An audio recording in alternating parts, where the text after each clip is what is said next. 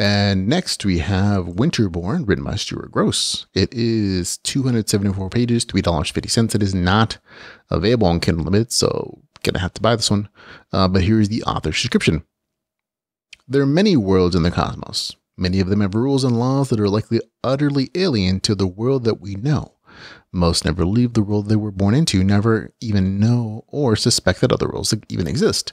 Their souls simply go, sorry, their souls simply go through the cycle of reincarnation again and again, always forgetting their past lives and living as they please.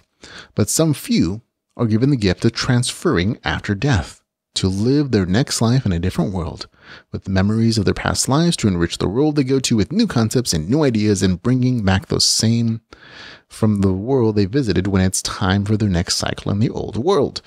A young woman suffers a tragic fate and is granted the ability to transfer. She is reincarnated into a new world full of monsters and magic and things that would be mere myths and legends to her in her old life. This time, she promises, will be different. She doesn't have to be weak here. She doesn't have to be a victim. She can be strong and no one will ever control her again. There you go. And if you read anything by Stuart Grosse, um, he's written some dark stuff, dark stuff with uh, sexual content. This isn't one of those things. Um, there's kind of a dark start to the story a little bit, um, but overall, it, it, it doesn't have any sex. Um, it, it's it's very much um, a, a very more tradi- I want to say traditional story, but it, it it has some things that aren't in the dark side of what the author writes sometimes. Um, so I, I, I actually enjoyed it quite a little bit. Um, it's a good kind of tabletop LitRPG story the female main character is transported to this fantasy RPG world that follows D&D specifically 3.5 rule set. Uh, and the author talks about that a little bit in like a foreword to this to the to the actual story.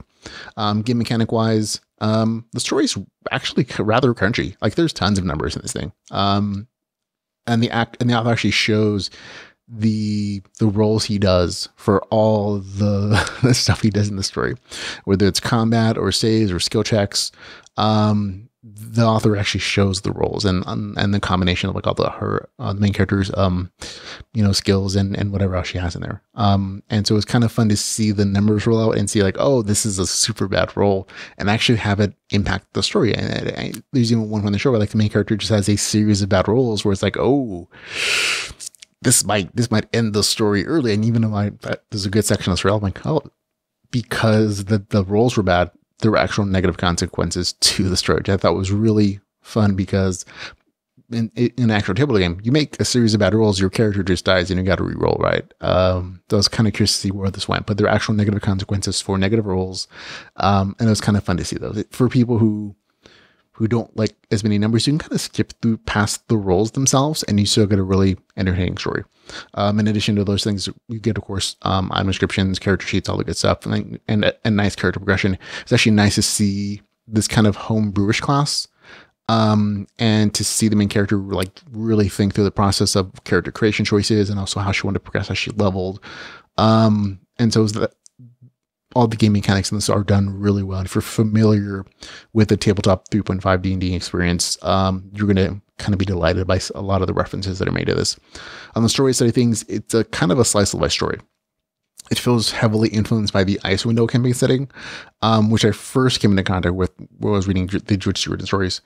Um, but there is also like a tabletop campaign setting here um, for that. Um, it's called a different worlds like name here in the story, so it's not like um, knocking off any any trademark names.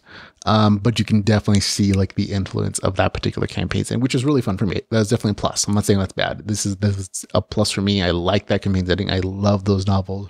It was kind of like for me, um, it was a positive because I'd spent so much time in those other worlds already. It felt like a very familiar world building experience, man, and I kind of enjoyed going back to that setting. Um, for me, anyways. Um, overall, it's a good story. It pulls heavily again from the D and D tabletop experience. And if you like that experience, if you, if you if you like reading stories and like filling those kind of like, oh, is this dice roll going to go well? And if it goes really well, what are the consequences? If it goes really poorly, what are the consequences? Where I think you're going to enjoy the story. It's one of the things I like the most about it. Um, and again, if you also also like that Icewind Dale setting, you're going to enjoy this. So for me, it's a solid 7.5 out of 10. Um, that's Winterborn with a score of 7.5 out of 10.